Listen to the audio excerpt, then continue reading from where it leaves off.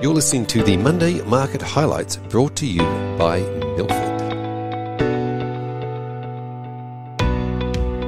Good morning. It's Monday, the 22nd of November, and I'm Kate from Milford. RBA minutes were released this week, which unpacked their reasons for abandoning the yield target policy. Previously, the RBA was targeting the April 2024 bond yield at 0.1%. However, the RBA opted to discontinue the policy as inflation risks had shifted higher, and a cash rate hike before 2024 had become a possible outcome. However, the RBA maintained their view that the current inflation is transitory and they will be patient on rate hikes.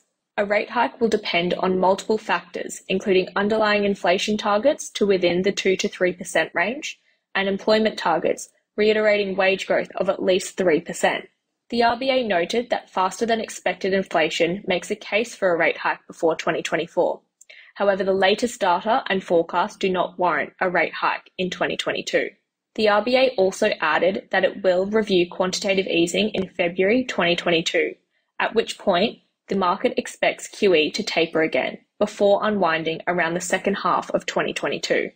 The Aussie Wage Price Index came out last week, which saw wage growth of 0.6% quarter on quarter and 2.2% year on year, in line with consensus estimates. While wage growth hit a two year high, it remains below the RBA threshold of 3%, as previously mentioned.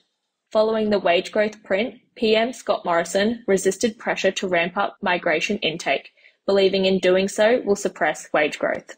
Australia's banking regulator, APRA, announced additional tools to rein in home lending, including house lending limits of more than four to six times debt to income, and reducing lending to borrowers with loan to value ratios of greater than 80 to 90%. This is a headwind to forward loan growth for banks.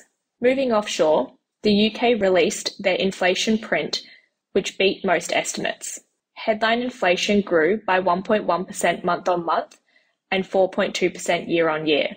This compared to consensus estimates of 3.9%.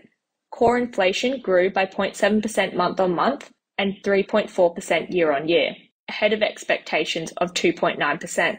A similar inflation outcome in Europe, with headline inflation growing by 0.8% month-on-month and 4.1% year-on-year versus consensus estimates at 3.4% and core inflation grew by 2% year-on-year, in line with consensus. Finally, the US retail sales data for October was released, which saw retail sales grow by 1.7% month-on-month. Turning to equity news, Aristocrat reported their full year FY21 result, which saw strong growth in group earnings, which was driven by the digital and gaming segments in both the Americas and ANZ. However, costs did surprise on the upside, which the market was focused on. The outlook for FY22 is on further organic growth and indicated it will increase investment in R&D to support this growth. Woodside Petroleum announced the sale of a 49% stake in their Pluto Train 2 LNG project to Global Infrastructure Partners for 835 million US. Following the completion of the sale, Woodside will maintain their 51% stake and will remain the operator of the project. CBA released their September quarter update which was a 5% miss at the pre-provision profit line, driven by a 1% cost miss and a weaker NIM due to intense mortgage competition. The result caused material downgrades as the market questioned whether CBA justifies its large premium to other major Aussie banks. Crown Resorts received another non-binding cash takeover offer from Blackstone for $12.50 per share. This represented a 25% premium to the previous close price of $9.90 per share. This is an upgrade to their prior offer of $12.35 in May this year. The offer is subject to a number of conditions, including casino regulator approval in Victoria, New South Wales, and WA. However, Blackstone stated regulators' advisors have indicated there is no reason to believe an approval would not be realised. Looking to the week ahead, the RBNZ meeting will be held on Wednesday, where rates markets are pricing in a rate hike of 50 basis points. Later in the week, we can expect Q3 US GDP growth rate data, which is expected to be 2.2% growth quarter on quarter.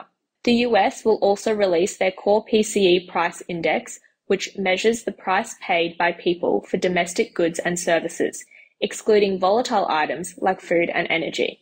This index is the Fed's preferred inflation measure. The market is expecting 0.2% month on month growth for core PCE price index. Thanks for listening, and we'll see you next week.